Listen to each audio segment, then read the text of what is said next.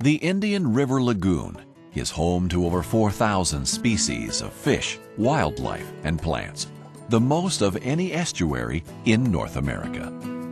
But development, invasive species, and pollution has destroyed many of its wetlands, mangrove shorelines, and seagrass beds. According to Dr. Grant Gilmore, a fish researcher on the Sebastian River, one of the Indian River Lagoon's major tributaries, this is one of the most unique places on Earth. Well, there are more kinds of fish that live in the Indian River Lagoon than any other estuary in the nation. In fact, the Sebastian River here, there are 12 species of fish that reproduce only here and two other tributaries to the lagoon. They depend on the shoreline vegetation here for habitat. If we take that vegetation out and replace it with boulders or seawalls, we're actually destroying the habitat for these fish, uh, where they obtain food and shelter from predation. Because there are more kinds of fish here, this is a measure of the health of the waters of our country. If we lose fish here, it's a loss for the country. The Marine Resources Council, a Florida nonprofit organization, coordinates the efforts of over 800 volunteers who restore the waters and shorelines these fish need.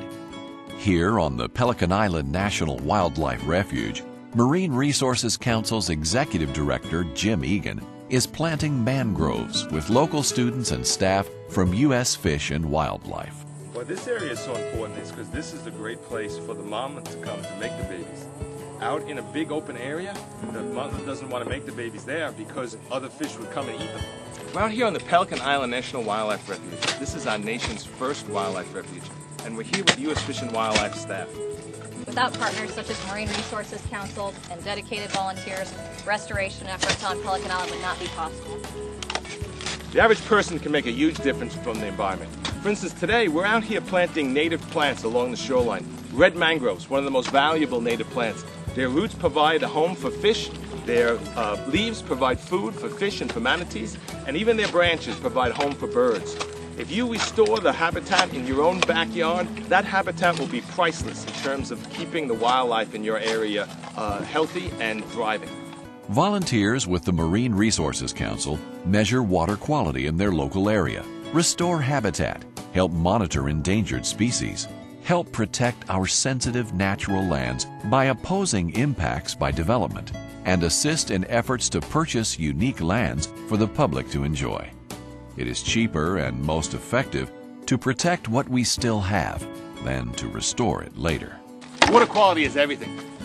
Either you're contributing lawn chemicals and, and creating an environment where you'll end up with green water and fish kills, or you're contributing a natural environment, an environment with native plants that will actually help your fish and your wildlife, the recreation of your community, its economy, and ultimately the health of your entire community.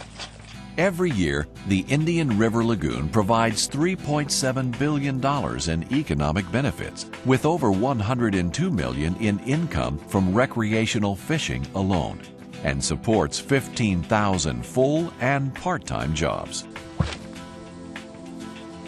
There's so much to love about the Indian River Lagoon. 75% of the game fish in Florida and 90% of the commercial species can uh, be caught here in this Indian River Lagoon and they depend on shoreline habitat.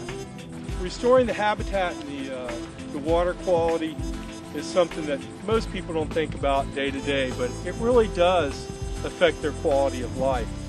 And if you want to get involved, you could join the efforts of the Marine Resource Council restoring the lagoon for you and your community. Do you love your waters enough?